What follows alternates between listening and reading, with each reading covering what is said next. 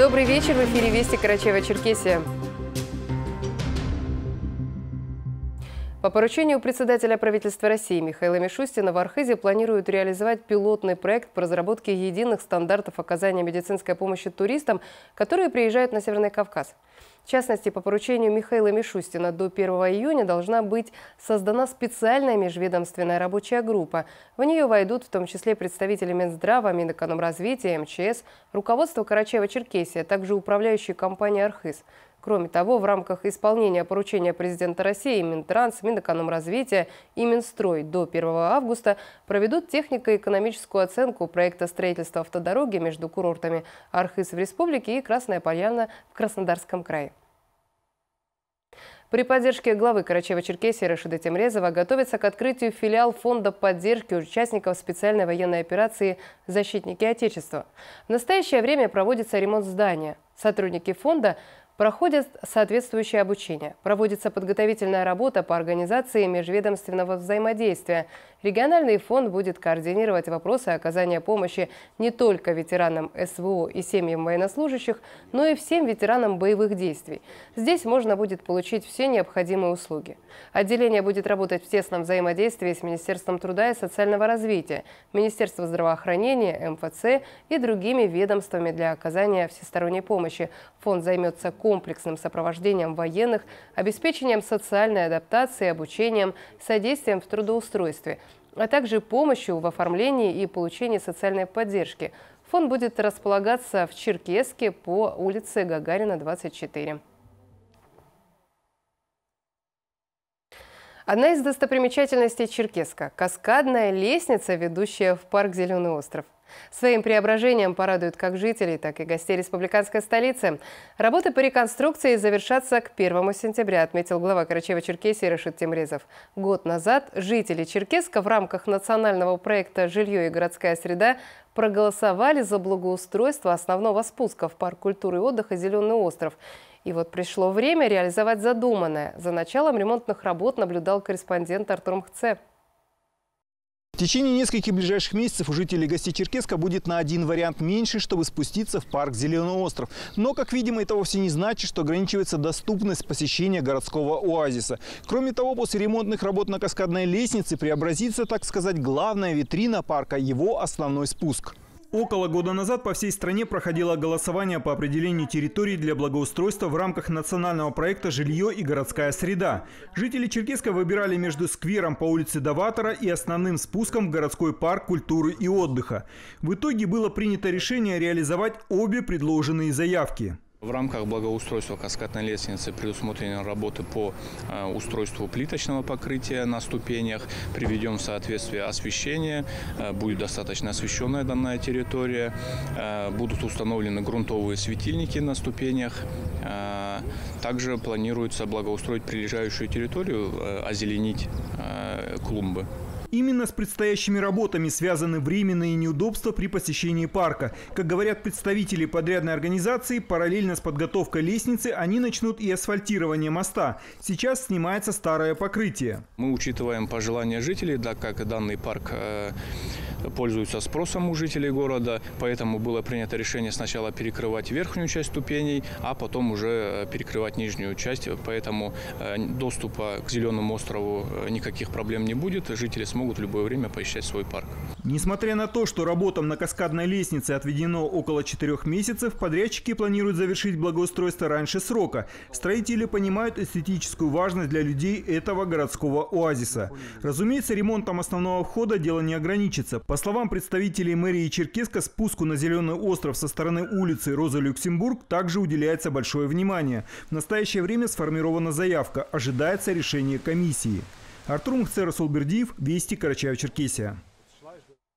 В Карачаево-Черкесии будет создана первая в республике совместная служба с привлечением специалистов трех министерств – здравоохранения, труда и социального развития, образования и науки для помощи детям и семьям, у которых возникли проблемы со здоровьем ребенка – на базе стационарного реабилитационного центра для детей с ограниченными возможностями здоровья «Росинка», где и планируют открыть службу. Несколько дней проходит обучающий курс для специалистов. Подробности в репортаже Аллы Динаевой. Чтобы как можно раньше понять и прийти на помощь детям и семьям, у которых возникли проблемы со здоровьем ребенка. Государство на своем уровне решило вот эту систему ранней помощи создать. И сегодня мы хотим присоединиться к этому. И сегодня у нас будет учеба. Будем своих специалистов готовить к этой системе. Поделиться опытом работы Ставропольского реабилитационного центра для детей и подростков с ограниченными возможностями здоровья приехала Екатерина Тютина, которая много лет возглавляла Ставропольский центр, где использовались все методы реабилитации – физическая, педагогическая, медицинская и социальная. Рассказала Екатерина Алексеевна, почему эта ранняя помощь важна и ей уделяется такое пристальное внимание. Вообще ранняя помощь – это очень важна. Не только для детей, хочу подчеркнуть это, но и для родителей, которым очень важно принять ребенка в том состоянии с ограничениями, которые у него появились при рождении и научить социум, семью, не только маму и папу, но и братьев, сестер, бабушек и дедушек, как с этим жить и как помогать ребенку преодолеть эти трудности. Этот обучающий курс – часть объемной и важной работы, цель которой – подготовка специалистов и создание первой республиканской службы ранней помощи при стационарном реабилитационном центре для детей с ограниченными возможностями здоровья «Росинка». Это будет такая межведомственная работа, а, медицинская помощь, социальная помощь, психолого-педагогическая помощь по нуждаемости, по определению нуждаемости будет оказываться этим деткам и семьям с детьми. На сегодняшний день ранняя помощь, конечно же, оказывается, но а, с созданием службы ранней помощи мы планируем вести реестр реестр а, получателей этих услуг, то есть а, по выявлению нуждаемости мы будем в базу данных заносить а, данные этого ребенка, семьи, чтобы могли все специалисты подключиться и необходимую помощь такую комплексную оказать. Сегодняшний семинар, он на самом деле очень необходим а, в целях того, чтобы понимать, какой будет дальнейший вектор, какое направление в нашей работе а, в ближайшее время и для того, чтобы определить механизмы нашего взаимодействия для улучшения результата нашей деятельности. Конечно, это не первая наша встреча, и мы уже говорили о, наших, о нашем взаимодействии, предпринимали, были предприняты уже некоторые шаги по нашему взаимодействию. В службу ранней помощи будут входить педагоги, логопеды, дефектологи, массажисты и не только. Это социальное сопровождение семьи и совсем скоро эта служба в республике заработает. Аладинаева, Али Бастанов, Вести, Карачева-Черкесия. Сейчас прогноз погоды, а после мы продолжим выпуск.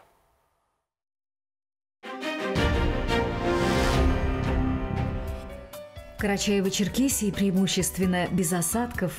Ветер восточный 6-11 метров в секунду. Температура ночью 5-10, в горах 0 плюс 5. Днем 18-23 градусов тепла и местами до плюс 14. В Черкеске без осадков, ветер восточный 6-11 метров в секунду. Температура ночью 7-9, а днем 19-21 выше нуля. В Кисловодском цирке с 29 апреля цирковой мюзикл на воде «Одиссея». Мебельный салон «Слон». Широкий ассортимент классической и современной мебели для вашего дома. Мягкая мебель, спальни, матрасы, кухни и многое другое. Наличный и безналичный расчет, а также кредит. Черкесск, шоссейная, 167.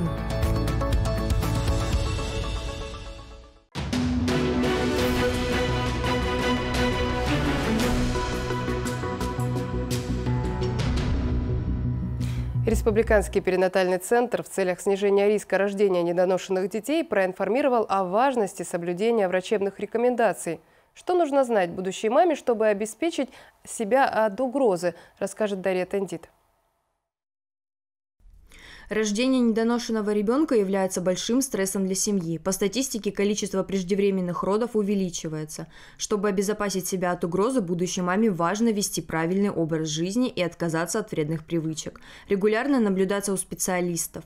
Вовремя делать прививки, чтобы обезопасить себя и ребенка от серьезных инфекций. Научно доказано, что если ребенку в первые 12 часов жизни ввели препарат от гепатита Б, то ребенок приобретает устойчивый иммунитет к вирусу. Вакцинация детей проводится с письменным письменного согласия родителей, отметила доктор Фатима Хубиева. Недоказанные вещи, чьи-то призывы не вакцинироваться. И что стало результатом? Во многих регионах Российской Федерации, да и во всем мире подняла голову корь опасное заболевание, которое заканчивается часто или летальным исходом, или энцефалитом, менингитом, после чего, если даже выживший может остаться инвалидом. Плюсов от вакцинации много. Препараты с большим стажем использования неоднократно доказали свою эффективность. Они проходят тщательный контроль и многочисленные исследования на территории России. Обычно малыши хорошо переносят прививки. После вакцинации за состоянием ребенка наблюдают специалисты. Бывает и так, что дети по состоянию здоровья получают отвод от вакцинации, говорит Фатима Магомедовна. БЦЖ только вакциной, ослабленной БЦЖ-М. БЦЖ-М он никогда не вызывает побочных эффектов. Сегодня очень важно заботиться о здоровье. Ответственная подготовка к беременности – залог рождения здорового ребенка. А вовремя сделанная вакцина способна уберечь от тяжелого и опасного заболевания. Дарья Тендит, Медина Джанкезова, Мухаммед Ишибоков, Вести Карачаева-Черкесия. В очередной раз в Госуниверситете имени Умара Алиева прошла международная научно-практическая конференция «Клычевские чтения». Она стала важной платформой для ученых и специалистов в области лингвистики, социологии, педагогики, языковедения и придала значимость родным языкам в образовании. Также в рамках конференции наградили победителей международного тотального диктанта. Подробнее расскажет Олеся Меликаева. Клычевские чтения проводятся в память о профессоре Рауфе Клычеве. Он был не только видным ученым-кавказоведом, но и замечательным педагогом, наставником молодежи. На мероприятии собрались ученики и его последователи, главная задача которых остается сохранение и развитие родного языка и традиций. Исполняющий обязанности ректора КЧГУ имени Умара Алиева Тоу Султан Узденов отметил, что клычевские чтения постоянно развиваются, меняются тематика, обсуждение вопросов и расширяется география участников. В работе конференции приняли участие ученые из республик Северо-Кавказского и Южного федеральных округов. Всего более 100 человек. В онлайн-формате присоединились и преподаватели вузов Грузии и Турции. Было отмечено, что разрабатывается комплексная государственная программа по сохранению и развитию родных языков Карачаева-Черкесии. После того, как э, не стало Клычева, какое-то время э, они были утеряны. Ну, в статусе университета мы уже подумали, и ректорат нас поддержал, общественность э, республики поддержала, педагогическая общественность. Мы их возобновили э, в форме э, клычевских чтений уже. Сначала на региональном уровне, потом всероссийском. И последние три года мы уже получили статус международного. Руководитель Международного объединения содействия развитию абазино-абхазского этноса Алашар в Карачаево-Черкесии Мурат Муков подчеркнул важность мероприятия, способствующего сохранению культурного наследия и национальной идентичности народов. Важность этой конференции, в принципе, что и сподвигло, естественно, это сохранение языка. Тау Султан Узденов вручил победителям и призерам дипломы и ценные призы. Он выразил благодарность кураторам площадок за качественную организацию проведения диктантов, добавив, что язык является неотъемлемой частью культуры и истории. Олеся Меликаева, Аслан Гирюгов, Вести Карачаева-Черкесия, Карачаевск. Двухсотлетняя сосна, растущая в Архизе, претендует на звание «Российское дерево года». Проголосовать за двухвековое дерево можно на сайте Всероссийской программы «Деревья. Памятники живой природы» до 1 августа. Сосна из Карачаева-Черкесии под номером 19. Она растет на знаменитой поляне Таулус, с которой начинаются многочисленные горные маршруты. Сосна возвышается над остальными деревьями и служит украшением поляны. Дерево почитается как простыми туристами, так и профессиональными альпинистами. Дерево было признано памятником живой природы и пополнило национальный реестр старовозрастных деревьев России. Это все вести на сегодня. Прямо сейчас смотрите продолжение фильма «Земский доктор». Всего доброго, до встречи.